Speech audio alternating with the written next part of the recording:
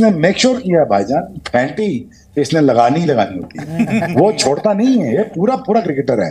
टुकर करो बारिश पे आएगी जी इज़्ज़त रख ली अल्लाह ने ताड़ी। जन हार्दिक पांड्या बुला है एक बड़ी बड़ी चल चल निकल चल चल निकल। इस तरह की हरकतें नहीं करेंगे। मतलब यार इससे पता चलता है कि अंदर जो भुगत है अंदर जो नफरत है वो कूट कूट के बढ़ी हुई है। इस किस्म का फिनिशर हमारे पास अभी तक हम सबको बहुत ज़्यादा काम करने की ज़रूरत है। हम्म। अगर हमने वर्ल्ड कप के ख्वाब देख रहे हैं कि हम जीतेंगे तो हार्दिक पांड्या तो हम एक्सपेक्ट कर रहे थे कोई और चले ना चले हार्दिक पांड्या ने पाकिस्तान के खिलाफ ज़रूर चलना होता है। सही बात है। क्या बात ये बात है। Sensible sweet Hardik Pandya so mature so mature कि मुझे मज़ा आया यार। क्या रन बॉल खेल रहे थे? बिल्कुल। क्या गैप्स में टैप करके भाग रहे हैं? क्या दो ले रहे हैं? क्या रोटेट रोटेशन ऑफ़ स्ट्राइक है? It's just amazing to see यार मुझे बड़ा मज़ा आता है। रोटेशन ऑफ़ स्ट्राइक यार दिस इज़ जस्ट अमेजिंग बहुत सारी लाइमलाइट ना विराट ले जाते हैं। होता है होता है। बा- बहुत सारी टीमों में ऐसा होता है किसी स्टार होता है जो लाइमलाइट ले जाता है मीडिया सारा ले जाता है। आई आई बिलीव कि हार्दिक पांड्या अगर आप देखें तो he is a star he is a superstar he is champions trophy से लेके जब तक ये इंडिया से खेला है जब तक तो इसने मेक श्योर sure किया भाईजान फैंटी इसने लगानी ही लगानी होती है। वो छोड़ता नहीं है ये पूरा पूरा क्रिकेटर है।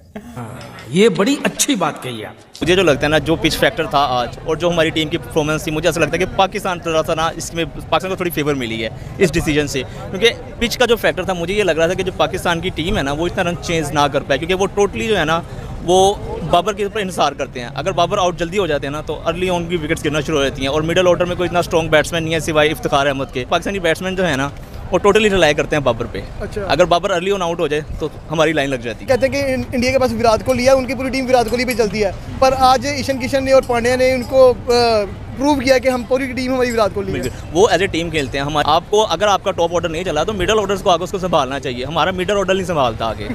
कि अर्ली ऑन विकेट्स गिर भी गई है ना आपके दो टॉप बैट्समैन आउट भी हो चुके हैं। इससे कोई इशू नहीं पड़ता आपको ठीक है? अगर आपके मिडल ऑर्डर जो है वो आप गेम को रोटेट करवाते रहे मतलब बाउंड्रीज ना भी लगे अगर आप सिंगल डबल कर रहे हैं गेम को रोटेट करवा रहे हैं तो जो मोराल होता है टीम का वो बिल्ड होना शुरू हो जाता है। तो वही आज उन दोनों की पार्टनरशिप में हमने देखने को मिला है। सही पकड़े हैं। यही नहीं अभी और सुनिए। किसी इंडियन ने इस तरह की हरकत की होती पाकिस्तानी प्लेयरों के साथ तो इन पाकिस्तान वालों ने बड़ा उठ जाना था कि जी ये तो गलत हो गया है ये तो जी ये बदतमीजी करते हैं इंडियन इंडियन बदतमीज हैं ये करते हैं वो करते हैं। हरीश रऊफ ने एक दिन पहले विराट को जफ्फियाँ लगाई दूसरे दिन उस, उसकी टीम के लड़के को आके गालियाँ दे रहा है इशारे कर रहा है चल निकल निकल। मतलब शर्म करो।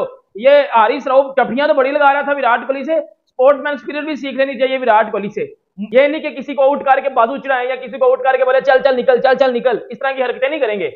मतलब यार इससे पता चलता है कि अंदर जो बुगज है अंदर जो नफरत है वो कूट कूट के बढ़ी हुई है और वो खत्म नहीं होगी। हारिस रऊफ जरा अपनी जरा आपके अंदर जो तपा हुआ गुस्सा है ना उसे साइड पे रखो। अगले प्लेयर ने इंडिया को ऐसी ऐसी नहीं खेल के दिया ना, मैं इस 82 को कहीं 200 से बेहतर रेट करता हूँ। इस ईशान किशन की इस 82 को मैं कहीं 200 से बेहतर रेट करता हूँ। कोई 200 जो खेल जाते हैं ना, वो अपने लिए करके, लेकिन इस 82 को तो मैं भाईजान हमेशा प्रेस करता रहूँगा।